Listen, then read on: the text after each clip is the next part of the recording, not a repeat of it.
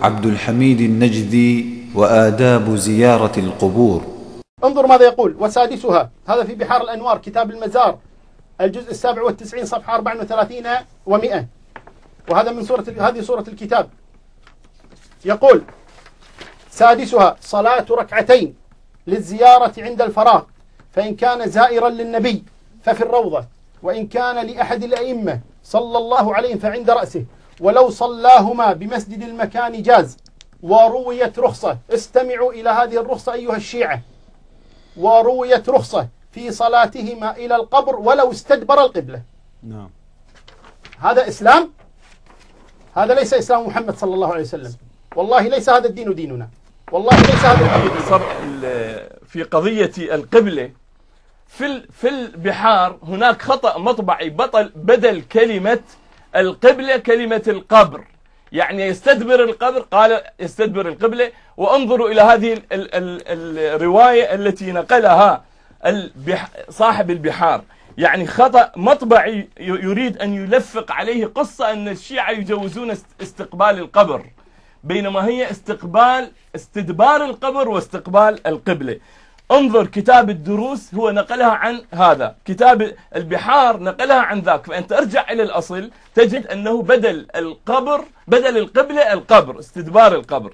في كتاب الدروس الجزء الثاني صفحة 23 كيف كيف يحدث هذا الشيء؟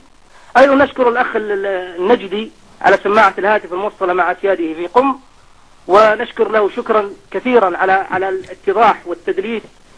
على في حديثه عندما قال أن الذي ذكره الشيخ الخميس عن محاجة كربلاء مع الكعبة عندما قال أن هذا خطأ في في الكتاب ليس القبر بل القبلة. ليس القبر بل القبلة. عندما تكون حجة عليكم تقولون أخطاء. عندما تكون الحجة عليكم تقولون أخطاء. بينما عندما تكون لنا حجة يصيح التيجاني ويقول هذا في البخاري ومسلم. واتضح كذبهم وتدريسهم الكثير. طيب. أتمنى من الشيخ البلوغي طيب وأما فيما يتعلق باتخاذ القبر قبلة ليست روايات فقط من آه، آه، فقط من آه، المجلسي بل هناك عدة روايات وبل هناك نعم يقول استقبال القبر لازم. شيخ المجلسي شيخ الطائفة مؤسس التشيع في مرحلة الأخيرة.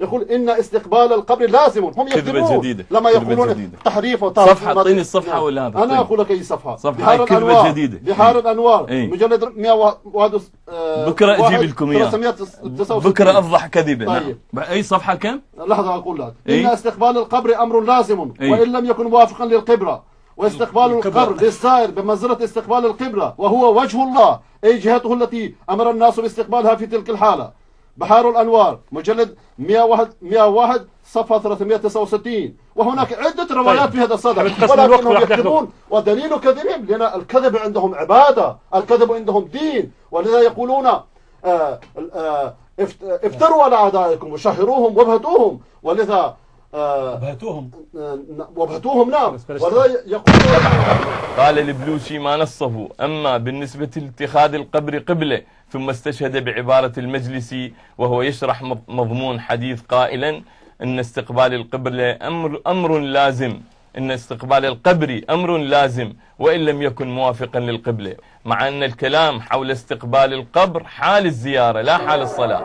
أما بالنسبة لكون القبر وجه, وجه الله. فقد ذكر المجلسي أن معنى وجه الله هو جهته التي أمر الناس باستقبالها في تلك الحال حالة حالة الزيارة. لا في حالة الصلاة كما حاول البلوشي أن يزعم. وأما بالنسبة إلى بعض الأمر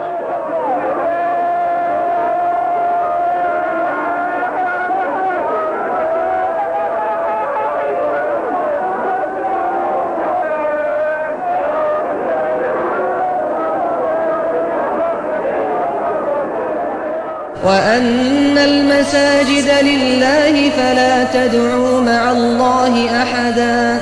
فماذا عسى النجد يقول عن الشيعة الذين يأتون إلى قبر الحسين رضي الله عنه سجدا متوجهين إلى القبر وليس إلى القبلة بل يزحفون سجدا كما تشاهدون.